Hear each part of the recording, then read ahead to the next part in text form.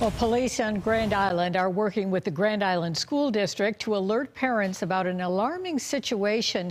The Grand Island superintendent tells News 4 they're investigating a situation where some middle and high school girls are being asked and even threatened on social media to share nude photos of themselves.